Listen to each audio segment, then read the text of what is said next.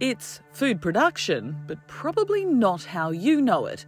Welcome to the new frontier in growing ingredients, synthetic biology, where paddocks, fields, and orchards are giving way to labs and bioreactors. Synthetic biology is a field of research where we engineer cells uh, to design and make them do things that they normally don't do. Yeah, we're trying to work out what it could be that's leading to that drop that we're seeing. Do you know what happened compared to the previous run? No. Professor Esteban Marcellin is from the Food and Beverage Accelerator based at the University of Queensland. The project aimed at creating new technologies, products, and businesses in the food and beverage sector. The field of synthetic biology has the potential to revolutionize many fields, from food uh, to agriculture to the way we make chemicals or fuels, the way we travel. Uh, did you add antifoam there by any chance? Because it could be sometimes when you add antifoam, um, we get a little reduction in oxygen. Okay. It's all about trying to get more sustainable ways or different ways to make the exact same products that we currently use.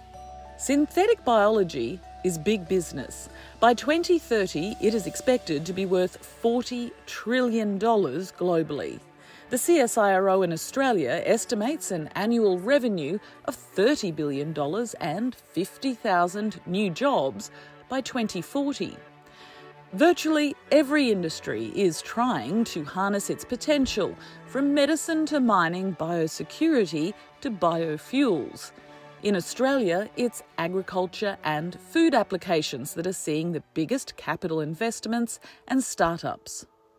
It is estimated that just like chemistry was at the beginning of the century, we will now start using biology more and more just to do the exact same things we did 100 years ago, but in a more sustainable way. These are bioreactors, so we are here right now in a biofoundry, and in these bioreactors we grow tiny microorganisms to make new products. So, those molecules, they can be turned into anything. Those cells are very tiny microorganisms that are able to turn a molecule as simple as a sugar into a big protein, a big molecule as a protein. And the current project we work on is on making uh, animal proteins using these microbial cells. Yeast or many other microorganisms that we use, they are the smallest factory in the world. So from one cell we end up with billions of factories at once in what we call a bioreactor, which is this stainless steel tube where we control environment, we feed them cells at optimal conditions so they're super happy and they reproduce and produce a lot of the metabolites that we want them to make. Synthetic biology is being heralded as having the potential to positively impact the global challenges around food production, food scarcity, and sustainability.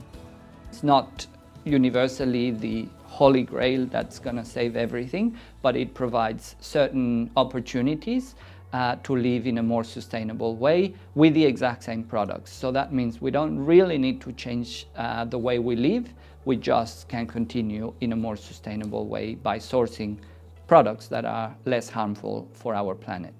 Professor Marcellin and his team at the Food and Beverage Accelerator are currently working on a number of projects, including making animal free milk in their bioreactors. I'm not suggesting we need to stop drinking milk. Of course, everyone enjoys um, a latte in the morning with cow milk, but there are other um, products that can be made with these alternative proteins.